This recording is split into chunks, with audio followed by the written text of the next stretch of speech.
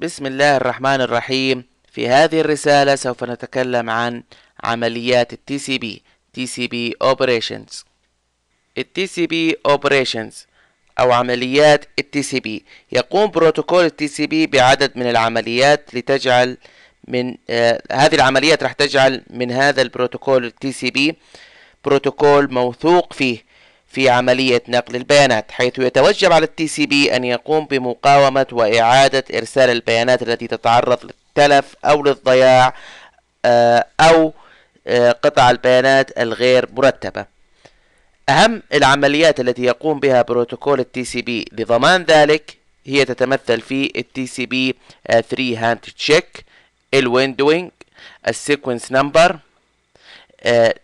acknowledgement وال flow control هذه العمليات هي أهم العمليات اللي من خلالها بيتم آآ آآ يعني من خلالها بتجعل بروتوكول ال TCP بروتوكول موثوق به في عملية نقل البيانات.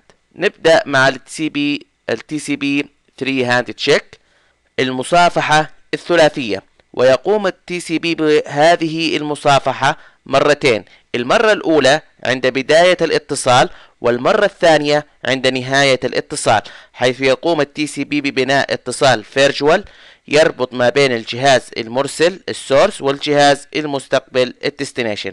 سميت بالثلاثية لأن العملية تبدأ بثلاثة خطوات بحيث أن الجهاز المستخدم لل TCP قبل أن يقوم بإرسال البيانات فإنه أولا يقوم بإنشاء اتصال افتراضي مع الجهاز المرسل إليه.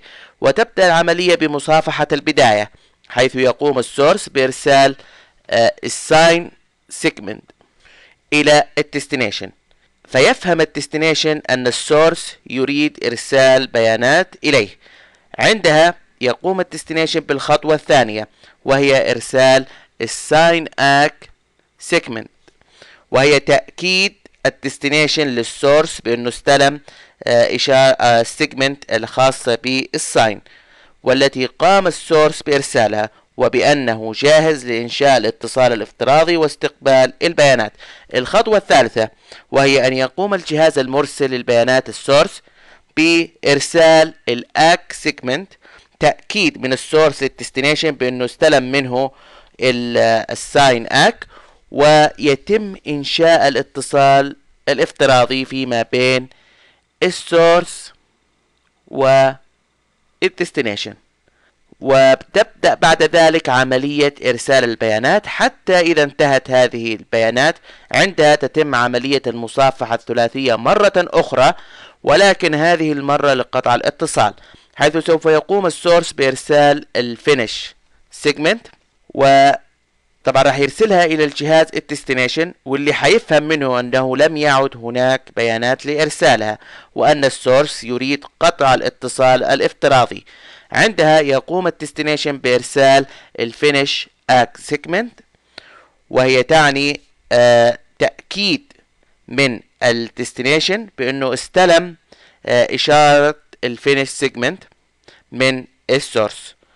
عندها راح يرد عليه الجهاز ال source بالخطوة الثالثة واللي هي ال ACK segment وهي عملية تأكيد من ال source بأنه استلم ال finish ACK segment من ال destination ومن ثم يتم قطع الاتصال اللي بيربط ما بين ال source وال destination. نستطيع تشبيه هذه العملية بما يحصل في الحياة الاجتماعية. فمثلا أنت لو قابلت شخص وتريد أن تكلمه مثلا في موضوع معين. فمن الذوق الاجتماعي أنه قبل ما تتكلم مع الشخص يعني آه وتدخل معاه مباشرة في الموضوع البداية أنك تسلم عليه وتصافحه وتسأله عن أخباره ويعني آه أخبار عمله إلى آخره. بعد ذلك تبدأ تفاتحه بالموضوع. فتعتبر هذه مصافحة البداية. مجرد أنك رحت صافحته آه سلمت عليه. تأكدت من يعني سألت عنه عن أحواله وعن أخباره. بذلك هو راح يفهم إن في موضوع أنت تبغى تفتحه معه. فالبداية هي راح تكون بمصافحة البداية. كذلك من ضمن الذوق الاجتماعي هو أنه بعد الانتهاء من التخاطب من بعد الانتهاء مثلا من التكلم في الموضوع اللي أنت كنت محتاج تتكلم فيه مع هذا الشخص فطبعا ما راح تمشي وتتركه. يعني من غير ما تصافحه مصافحة الوداع وإنه وخ... وتبين له إنه خلاص أنت انتهيت من الموضوع وإنك أنت مضطر إنك تمشي. فالفكرة هي مشابهة لل TCP 3 handshake بحيث إنه قبل إرسال البيانات يجب أن تحصل مصافحة ما بين ال source وال destination يتأكد فيها ال source إن ال destination موجود فعليا ويعمل في داخل الشبكة وإنه جاهز لإنشاء اتصال افتراضي من خلاله يتم إرسال البيانات.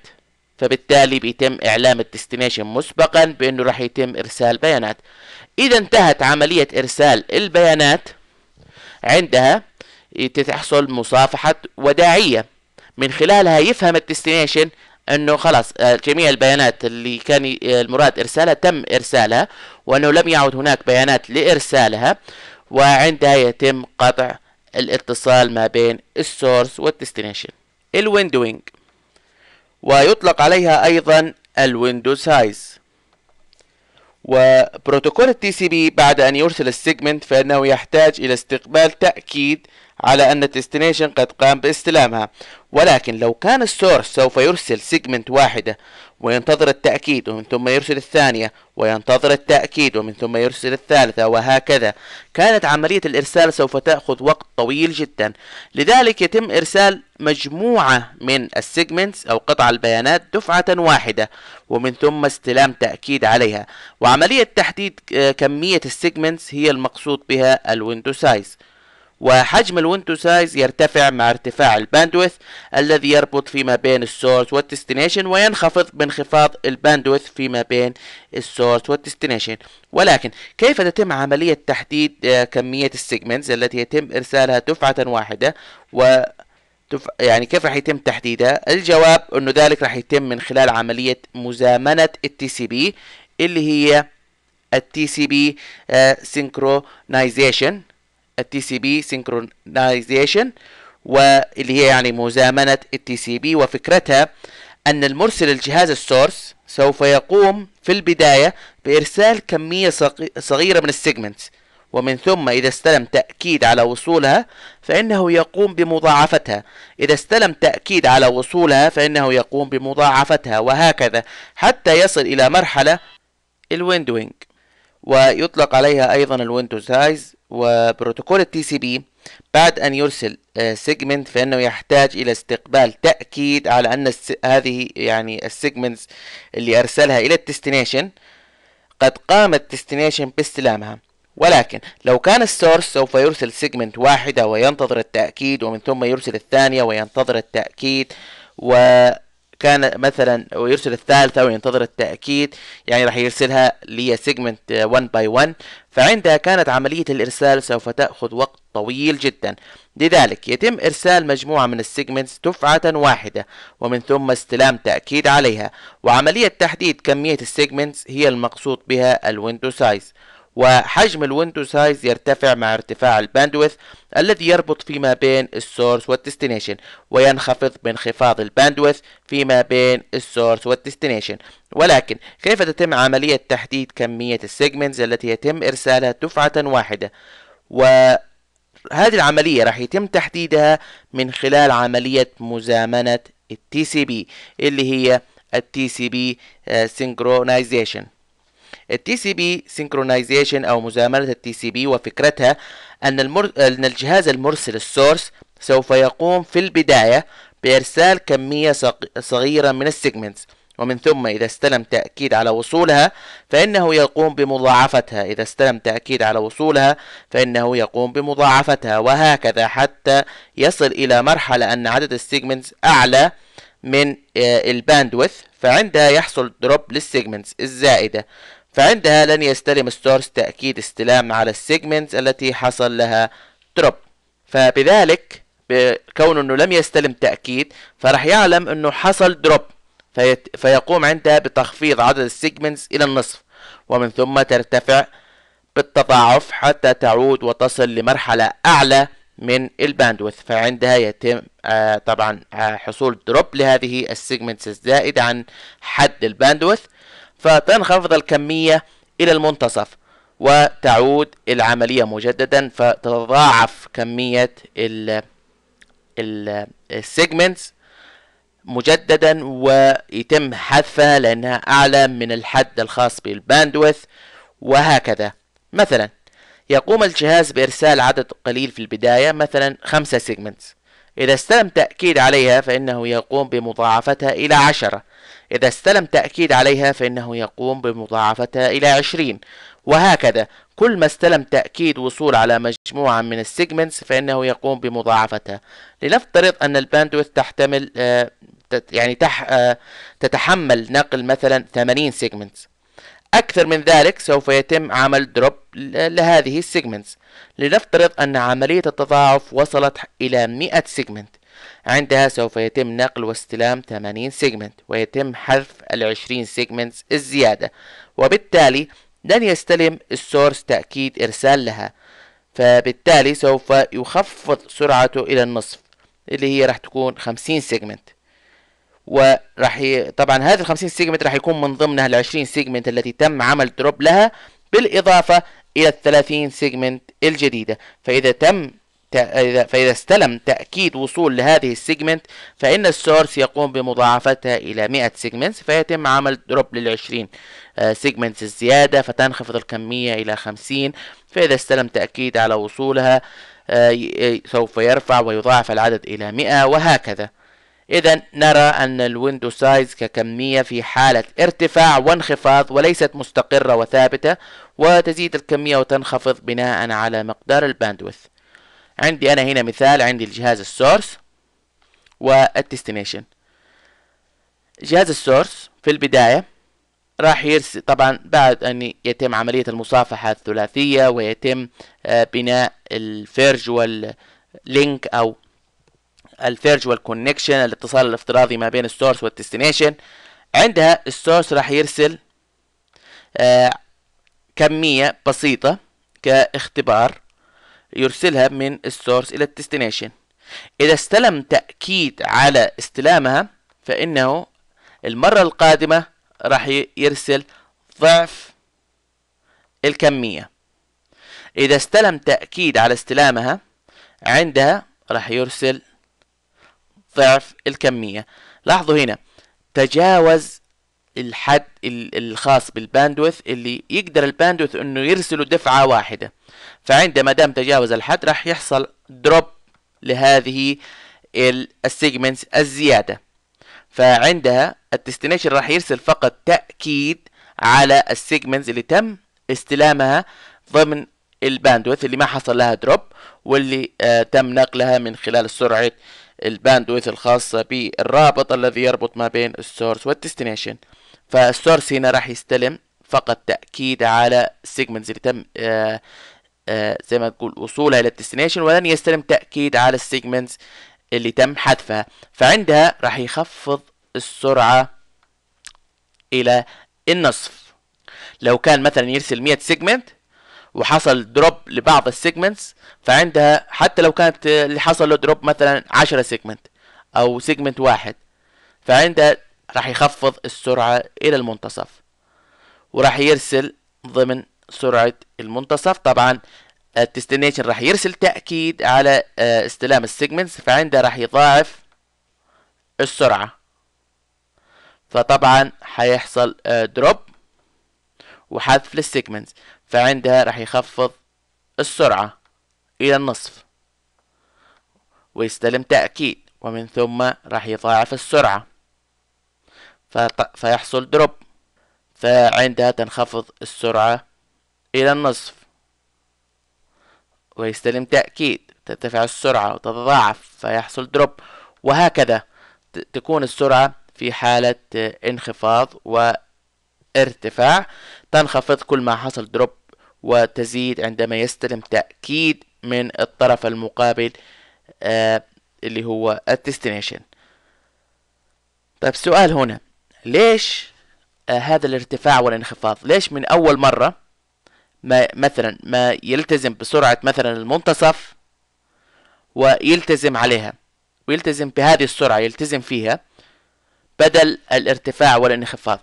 الجواب إنه TCP بيفترض إنه مثلا ال bandwidth قد يكون مزحوم بعملية نقل بيانات لأجهزة أخرى وأنه في حالة أنه مثلا هذا الازدحام يأخذ ثواني معينة أو أجزاء من الثانية فبالتالي هناك احتمال أنه بعد الازدحام يستطيع أن يرفع السرعة وكم من خلال رفع كمية وعدد ال segments اللي بيتم إرسالها من ال source إلى ال destination فبالتالي بيظل في حالة اختبار لل bandwidth فبيزيد كمية ال segments إذا حصل لها حذف مثل ما ذكرنا راح يفهم أنه قد يكون ال link اللي يربط ما بين ال source وال destination مزدحم بالبيانات أو أن ال bandwidth منخفضة.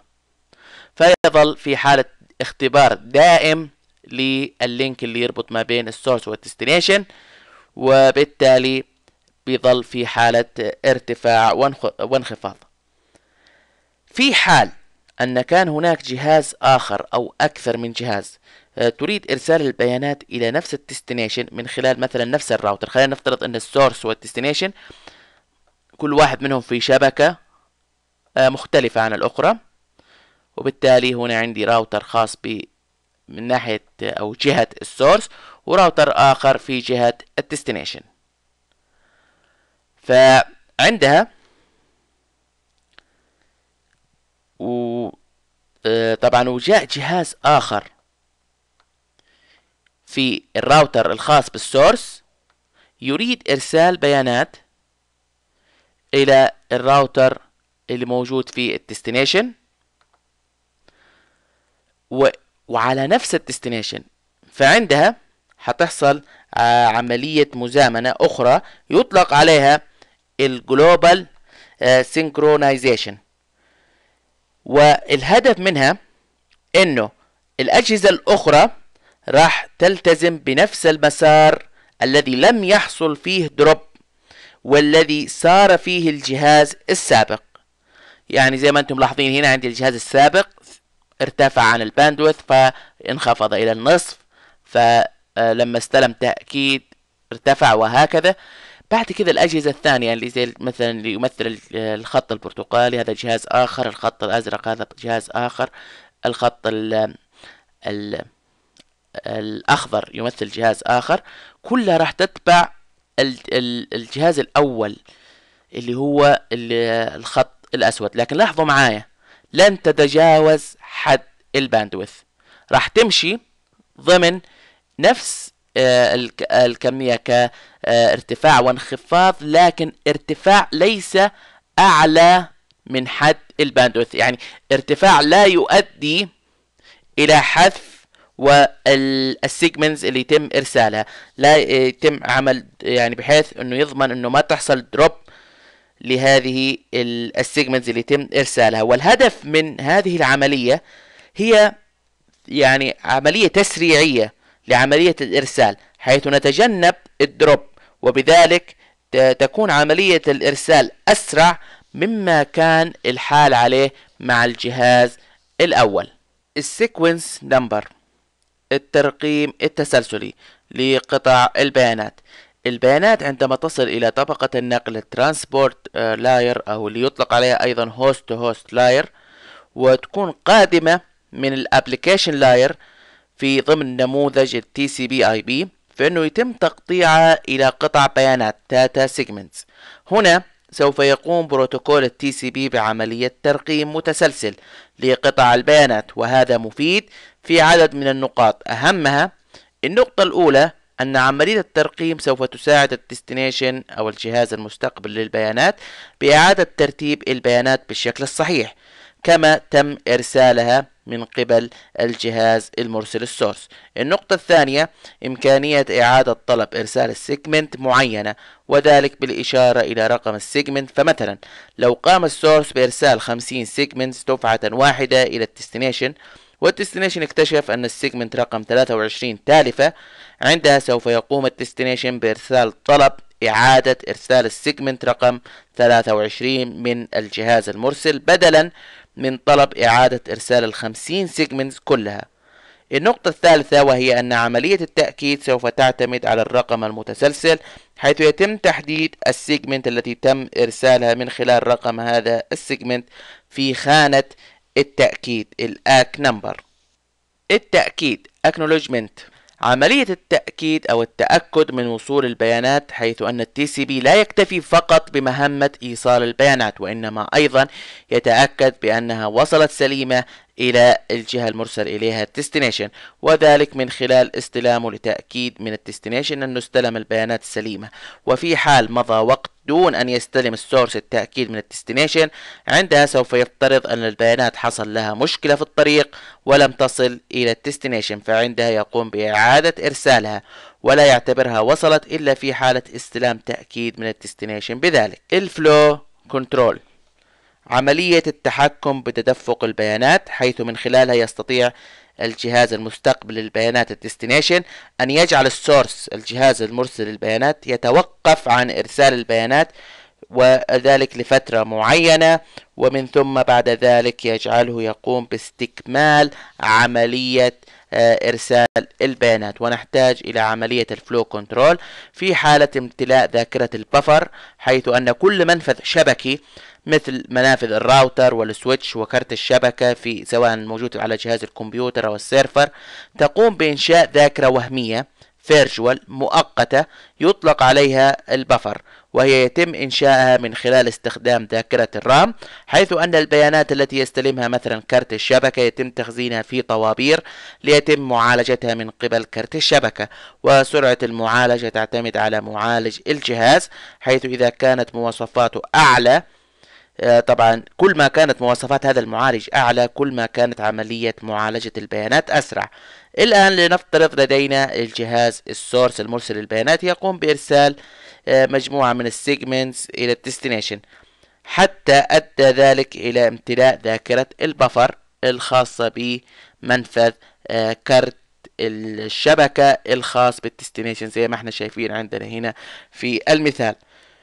عندها راح يقوم ال destination آه، بإرسال segment يطلب من يطلب من خلالها من ال source الجهاز المرسل التوقف عن إرسال آه، ال segments أو البيانات حيث سوف تكون ال segment هي عبارة عن ACK آه، تأكيد على استلام آخر segment كذلك بتعريف الرقم المتسلسل الخاص بال segment الأخيرة وقيمة أو التالية وقيمة خانة ال window. راح تكون قيمة خانة ال window صفر. فبالتالي عندما يراها ال source يعلم أن ال destination يطلب منه التوقف فيتوقف ال source عن إرسال ال segment أو ال segments أو البيانات. عندها يقوم ال destination بمعالجة ال segments الموجودة في ذاكرة ال buffer فإذا انتهى منها عندها سوف يقوم ال destination بإرسال ACK آه، segment أخرى. لكن هذه هذه المرة راح تكون قيمة ال window آه، لآخر آه، طبعا آه، تعادل قيمة آخر segment تم إرسالها. عندها يقوم ال source باستكمال عملية الإرسال البيانات اللي راح تكون على شكل segment أو قطع بيانات. كانت هذه هي أهم عمليات ال TCP والتي من خلالها تقدم لنا خدمة نقل البيانات مع التأكد من سلامة وصولها إلى الجهاز المرسل إليه ال destination. إلى هنا نكون وصلنا إلى نهاية هذه الرسالة. أتمنى تكون وصلتكم الرسالة. كان معكم حسن صالح مرشد من الشبكات الرقمية. والسلام عليكم ورحمة الله وبركاته.